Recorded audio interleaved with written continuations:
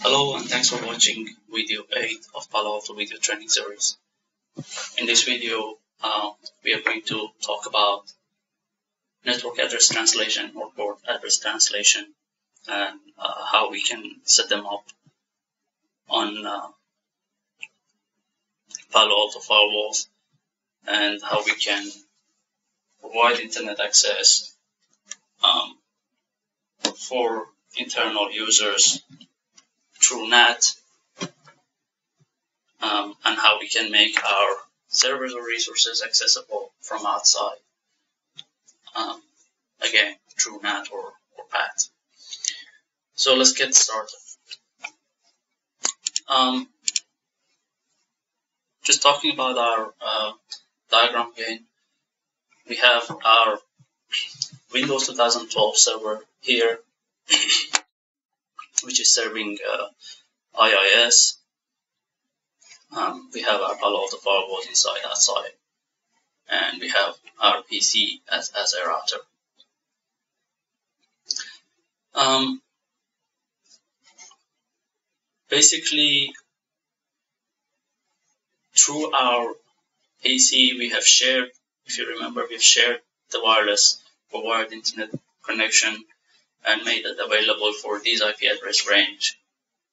So that means if uh, the internal range try to access internet, uh, it won't be able to because that interface won't allow uh, sharing with that range. So we'll have to do a, an IP address translation uh, for this range. So when it's going out, it will be translated to a different range and uh, then it will have internet access. So once what, what we've done in the past, just log into our firewall again. what we've done in the previous um, uh, video, we've created a translation rule, which uh, I'm going to talk about it now, to provide basic internet access functionality for our internal users.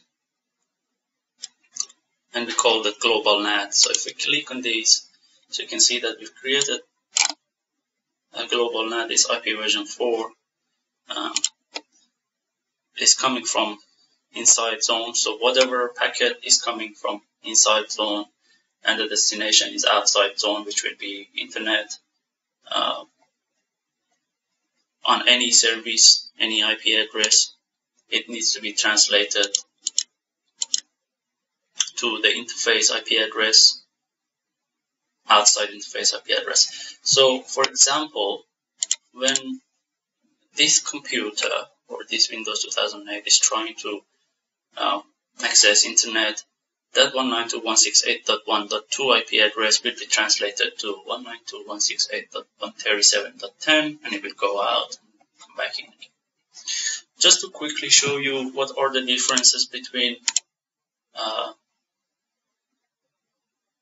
NAT and uh, PAT. So first thing I want to show you is uh, static NAT. Um, static NAT is uh, basically a creation of a translation between two IP addresses, one internal and one external. and the way it works is your internal IP address. So this, this is just a sample show that I downloaded from internet to show you. Um, there will be an internal IP address, whether uh, it is 192.168 or 72, whatever, whatever the IP address. This is just an example there. Internal IP address, it will be translated on the router to an external or firewall to an external IP address. And when the response comes back on that public IP address, it will be translated back to the original IP address and sent back to the host again. So this is a one-to-one -one NAT or static NAT we have another concept of dynamic NAT or dynamic net network translation. Uh, and the way that it works is uh, we can have a range of internal and a range of external IP addresses. and each one can be translated to, to another one. So uh, this can be translated to that, that can be translated to that. So we have a pool available. So on this side we can have one or more, on the other side we can again have one, one or more, and each uh, can be translated uh, to whatever is available. So that is called the idea of dynamic NAT. We have another concept which is called port address translation. And the difference between port address translation and network address translation is it works based on port numbers. And it is a very good feature specifically for uh, uh, places that you don't have enough uh, uh public IP addresses available. You could use port address translation to translate number of IP addresses to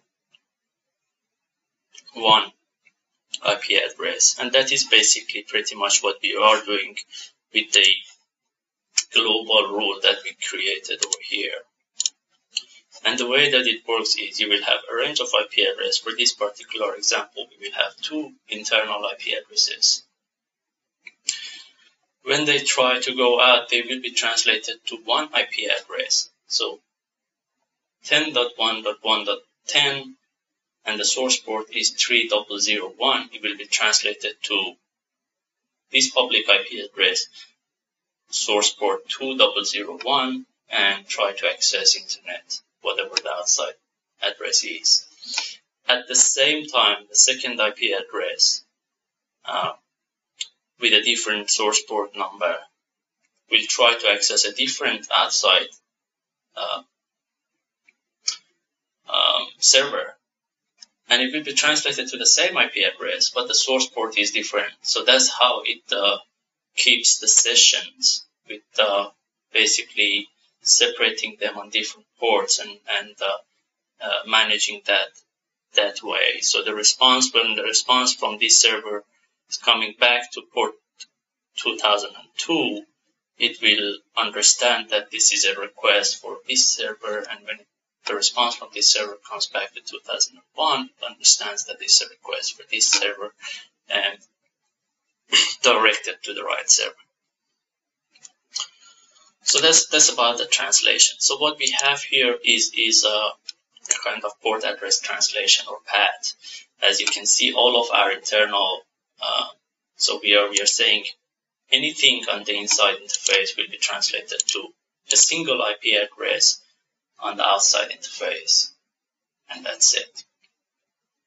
So that will help us to uh,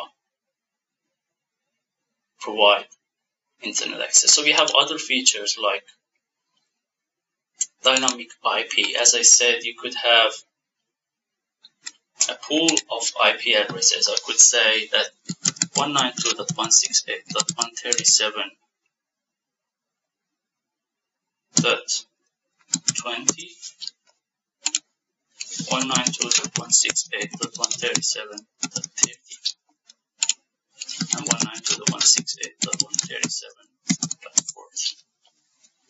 So we could basically translate our uh, internal IP addresses to a range of different. So if we apply these anytime any computer on the inside network, whether it is this server or the workstation that we have here, it will be translated to one of these IP addresses based on the availability. So that's that's kind of dynamic NAT that uh, I just explained. We also have the option of static IP, which is static NAT when I explained. Uh, and uh, that's basically translating to one single IP address. I'm going to cancel this. I'm going to create another one with static IP to show you how it works. So if we go back to our Windows server, try to log in.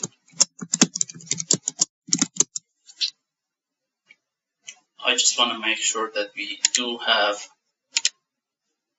uh,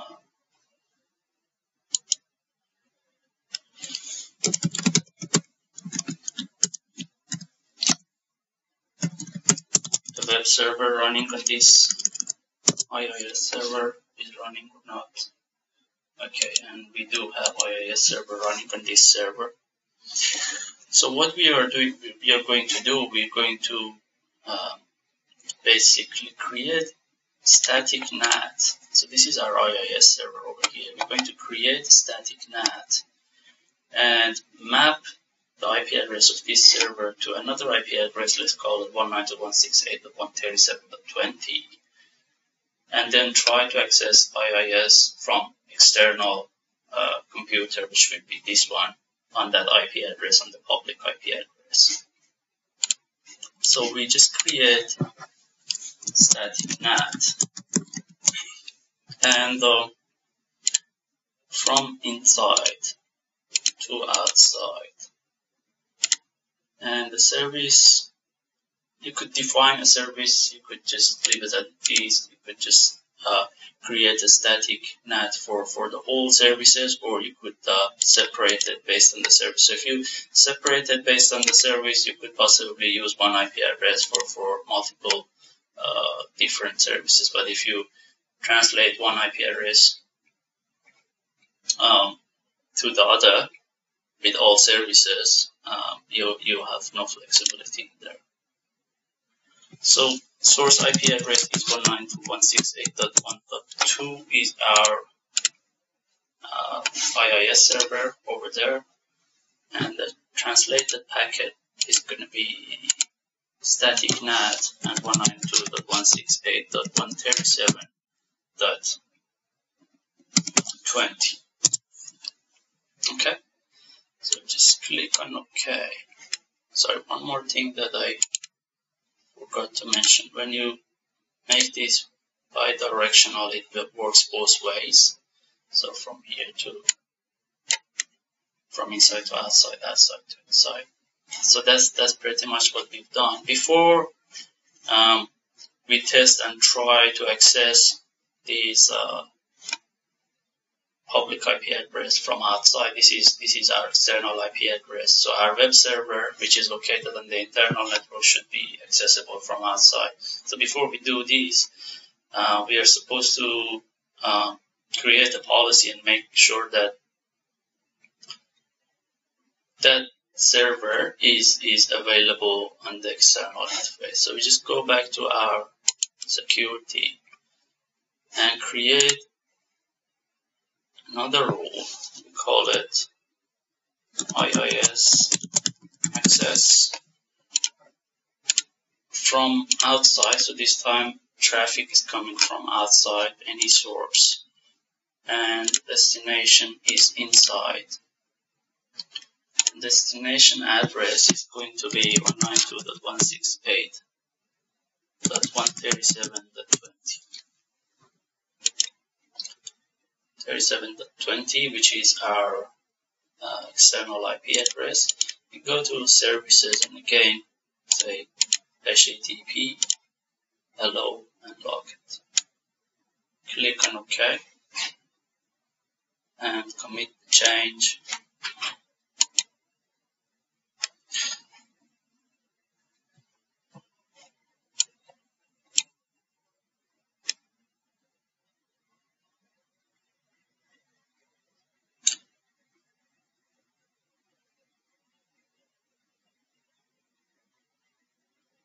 So as you can see, there is a problem there. So it's rule global NAT shadows rule static NAT. So we'll have to go back to NAT and move this one up. So we will do this translation first and then global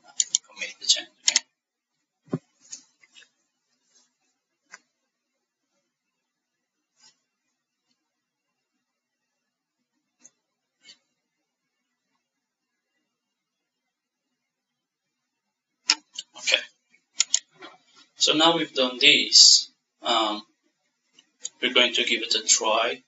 So from my PC, from this one, which is an external PC to, and this is our internal network, so it's an external PC, we should try and access 192.168.137.20 and see if it is accessible. Okay. So we just open a tab 192.168.137.20 and sure enough you can see we have access to our IIS server. Um, through its uh, public IP address, which is uh, um, available from outside. So that's how it, how network uh, translation works. Uh, if you have a web server on DMZ or, or uh, SFTP or FTP server on DMZ, you could just create a uh, network address translation and make it available from outside and from inside obviously you could do port address translation to uh, provide access to external resources. So I hope you've enjoyed this video and I'll uh, be with you in the next videos.